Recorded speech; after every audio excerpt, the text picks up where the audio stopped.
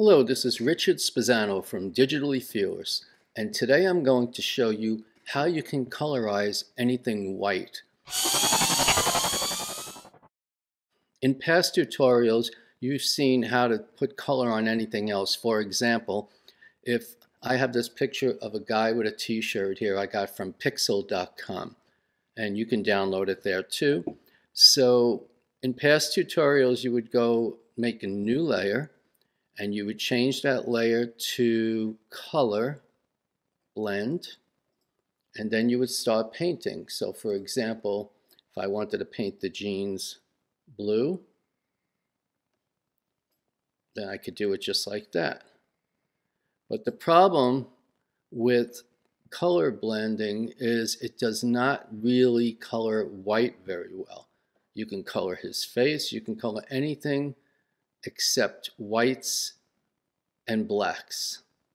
So what we want to do is we want to change the color of the t-shirt.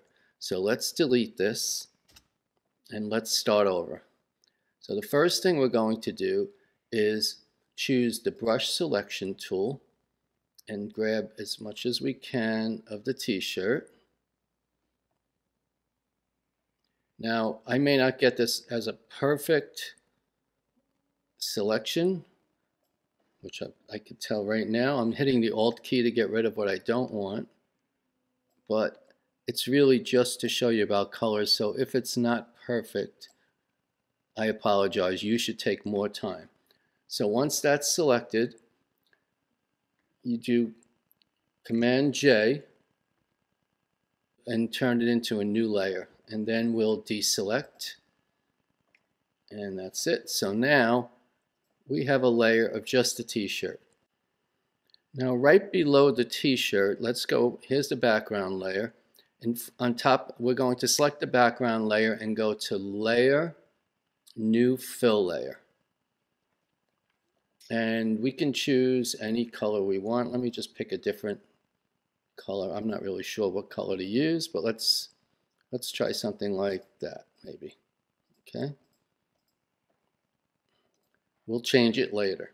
Now, if we if we command click on the t-shirt, let me name this t-shirt just so we're not confused. And if we command click on the photo of the t-shirt right here on the layer itself, we're selecting it. And then go to the fill layer below it and say on the bottom, add a mask to it. So now, and deselect, so now you can't see the green because there's a mask around everything else except the t-shirt. So now we can go to the t-shirt itself and hit this gear and this is the blend if option.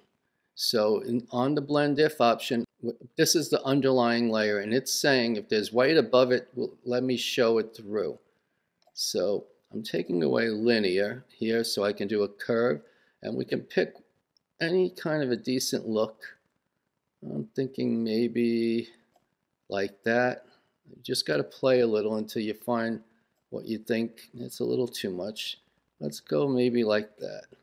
Okay? And close that off. And just for the heck of it, just let's see. We still have more work to do, but let's go back to the fill layer and change the color to see what happens there. There's blue, green. Pick a color that you think is going to really show the contrast. Like I'm kind of liking this little bit of a mustard color. Hopefully it's showing up mustard on YouTube, but that's mustard, a little bit of yellowish mustard here. So the next thing I would like to do is on top of the, of the t-shirt layer, oops, sorry, on top of the t-shirt layer we're going to do an adjustment layer and we'll do curves.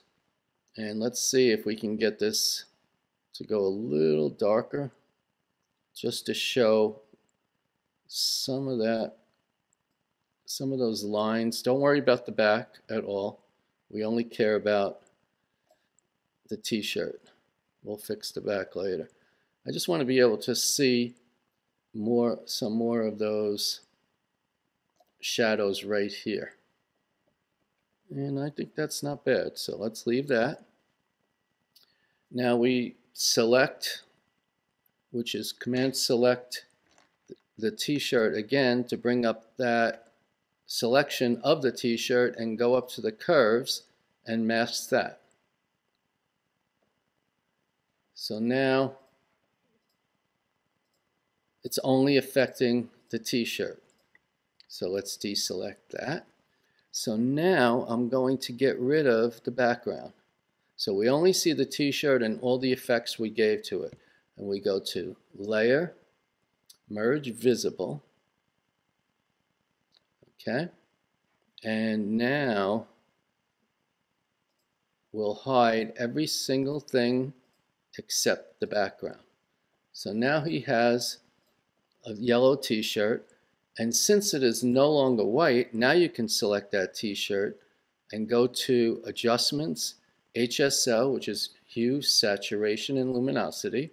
And you can change that t-shirt whoops made a mistake. Got to hook it right to there. No right to there. Make sure we clip the hue and uh, saturation to the t-shirt and then we got double click on it and we bring it down and you can change that to any color you want at any point. And you could change darkness, lightness.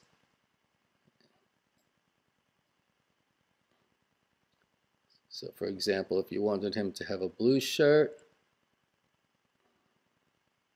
or it's a, or a melon shirt right there,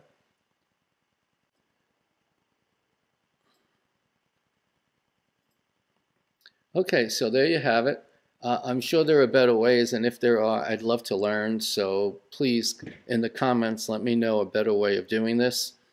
Um, but that's how you color something that's white. And my name is Rich Spezzano, and if you like this, please subscribe. Thank you so much.